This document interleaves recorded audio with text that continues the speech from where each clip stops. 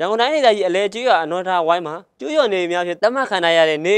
118လုံးကိုနေ့ရက်6လ2018ရက်စွဲပါစာနဲ့ကျူးကျော်နေများကိုဖျက်သိမ်းရန်အစီအစဉ်ရှိသည်ဟုမြို့နယ်အထွေထွေအုပ်ချုပ်ရေးမှူးရုံးကိုညွှန်ကြားထားသည့်အတွက်အလဲကျွော်အနော်ထားဝိုင်းမှာနေထိုင်တဲ့ကျွော်သူကျွော်သားများကကျူးကျော်အိမ်များဖျက်သိမ်းတဲ့အခါသက်ဆိုင်ရာဌာနကကြိုတင်အကြောင်းကြားပေးစီလိုကြောင်းအလဲကျွော်အနော်ထားဝိုင်းမှာနေထိုင်သူ ဒေါ်တန်းတန်းဝင်းကပြောကြားခဲ့ပါတယ်အန်ဒီတို့မှာစိုးရိမ်နေပြီးတော့ရှိပါတယ်။ဘာလို့လဲရှိရဲဆိုတဲ့အခါကျတော့ပေါ့နော်။အဖွဲ့အစည်းတွေကကားအိမ်နဲ့ဒီလိုလာပြီးတော့ဒီလို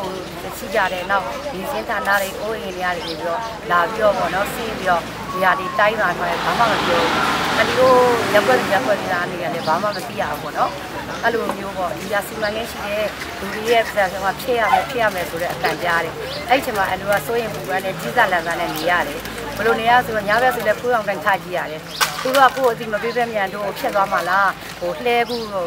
ကျွန်းကလေးလေအဲ့ယူလာလို့ပေါ့တူတူတခါလဲဟိုတန်တခါဖြတ်သွားတာအန်ဒီတို့ကအဲ့လိုမျိုးမဖြစ်ရအောင်လို့ပေါ့နော်ဟိုဒီသတင်းစာ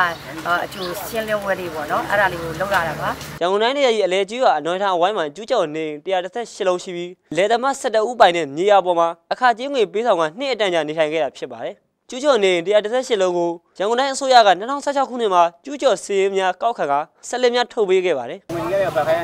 အားကြတော့ကျွန်တော်တို့ကခံတယ်ကျွန်တော်တို့ငွေခိုးက3000ဝါ3လုံးနဲ့ကျွန်တော်တို့ခံခိုင်းကျွန်တော်တို့မခံခဲ့ဘူးဘယ်ရဲ့ခါကျတော့ကျွန်တော်ဥပုံခင်ဝါရောဦးကြောင့်ပြောပြအဲ့ရောမခံနဲ့မင်းတို့ဒီတိုင်းနဲ့နေကြပါထိုင်ကြပါလို့ဥပုံခံရခံကျွန်တော်တို့ခါကျတော့အဲ့ရည်ကိုစရောဒီကဘာလဲ တိုင်းသာမြို့နယ်အလဲကျွော်အနော်ထားလမ်းမှာနေထိုင်နေရှိတဲ့လေအေကများဟာမက်ထရိုပိုလီယန်ကုမ္ပဏီကကုန်းတွင်းစိတ်ကမ်းတိဆောက်ရေးစီမံကိန်းဆောက်လုပ်ဖို့စီစဉ်ထားတာဖြစ်ပါတယ်လက်ရှိလိုင်သာမြို့နယ်အလဲကျွော်အနော်ထားလမ်းမှာနေထိုင်နေတဲ့ဂျော်ဂျူရွာသားများဟာ AR တိုင်းကပြောင်းရှိလာတဲ့အလုပ်လက်မဲ့များဖြစ်ပါတယ်